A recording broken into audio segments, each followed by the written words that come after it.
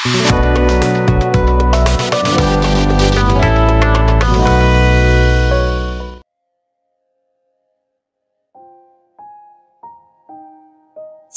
pagi, Shalom. Bapak, Ibu, saudara-saudariku yang dikasih oleh Tuhan, salam sejahtera untuk kita semua. Kita patut bersyukur pagi hari ini kita masih diberikan nafas kehidupan dan dimungkinkan untuk menerima kasih karunia dari Tuhan.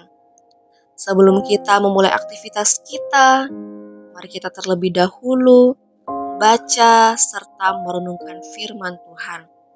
Tapi sebelum itu, mari kita satu di dalam doa. Kita berdoa. Allah Bapa dalam kalian surga, terima kasih Tuhan untuk kasih kurniamu di pagi yang indah ini.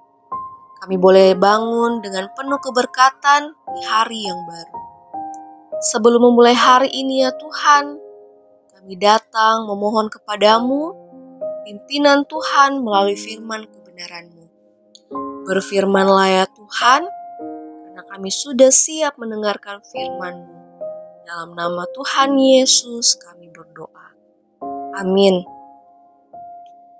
Bapak, Ibu, saudara-saudari yang dikasihi oleh Yesus Kristus, pembacaan kita hari ini dalam renungan harian Toraya edisi 17 Februari 2023 terambil dari kitab Mazmur 78 ayat yang kelima hingga ayat yang ke-11. Saya ulangi, Mazmur 78 ayat yang kelima hingga ayatnya yang ke-11. Kita baca di bawah perikop pelajaran dari sejarah. Ayatnya yang kelima, telah ditetapkannya peringatan di Yakub dan hukum Taurat diberinya di Israel nenek moyang kita diperintahkannya untuk memperkenalkannya kepada anak-anak mereka, supaya dikenal oleh angkatan yang kemudian, supaya anak-anak yang akan lahir kelak bangun dan menceritakannya kepada anak-anak mereka, supaya mereka menaruh kepercayaan kepada Allah dan tidak melupakan perbuatan-perbuatan Allah, tetapi memegang perintah-perintahnya dan jangan seperti nenek moyang mereka, angkatan pendurhaka dan pemberontak, angkatan yang tidak tetap hatinya dan tidak setia jiwanya kepada Allah. Bani Efraim, pemanah-pemanah yang bersenjata lengkap, berbalik pada hari pertempuran. Mereka tidak berpegang pada perjanjian Allah dan enggan hidup menurut Tauratnya. Mereka melupakan pekerjaan-pekerjaannya dan perbuatan-perbuatannya yang ajaib yang telah diperlihatnya diperlihatkannya kepada mereka. Amin. Bapak, Ibu, saudara-saudari yang dikasihi oleh Tuhan, tema renungan kita pada hari ini yaitu tuturkan firman-Nya. Tuturkan firman-Nya. Bertolak dari sebuah pertanyaan refleksi, Mengapa buku-buku yang lain bisa saya baca, sementara Alkitab yang adalah firman Allah tidak bisa saya selesaikan untuk dibaca? Dari refleksi ini, kemudian muncul sebuah komitmen pada diri saya bahwa saya harus bisa menyelesaikan membaca keseluruhan Alkitab dan saya bersyukur bahwa saya telah membaca seluruh Alkitab walaupun baru sekali. Mazmur 78 ayat 5 hingga ayat yang ke-11 menekankan beberapa hal. Yang pertama, memperkenalkan Taurat kepada anak-anak supaya mereka kelak menceritakan kepada anak-anak mereka.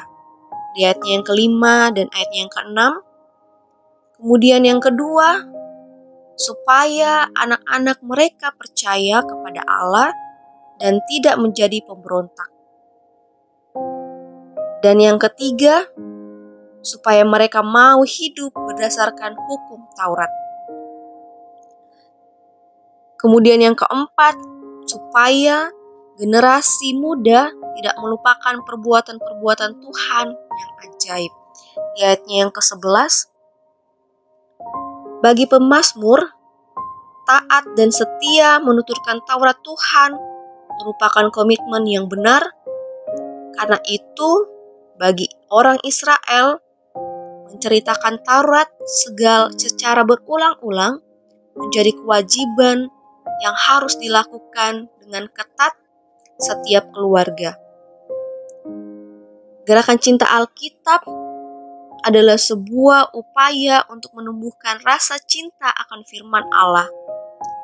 Gerakan ini mendorong kita untuk memahami bahwa Alkitab adalah firman Allah yang tertulis.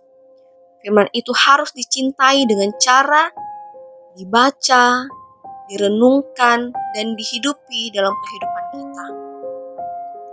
Menjadikan firman Allah sebagai pegangan atau penuntun yang berfungsi sebagai pelita untuk menerangi seluruh hidup.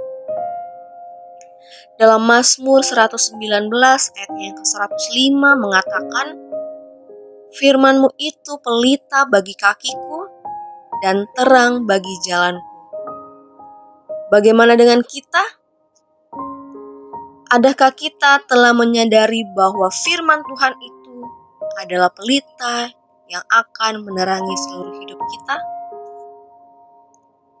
Amin firman Tuhan. Mari kita satu dalam doa, kita berdoa.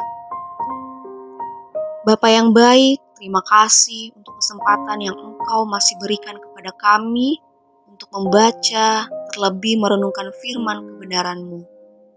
Ajar kami ya Tuhan untuk selalu mengikut dan menuruti firman-Mu. Kami akan melanjutkan aktivitas kami hari ini. Berkati kami Tuhan, agar kami boleh melakukan aktivitas dan tanggung jawab kami masing-masing dengan baik dan seturut kehendak Tuhan. Inilah doa kami ya Tuhan, dalam namamu kami sudah berdoa. Amin. Bapak, Ibu, Saudara-saudari, demikianlah renungan harian Toraya edisi 17 Februari 2023. Selamat beraktivitas, Tuhan Yesus memberkati. Shalom.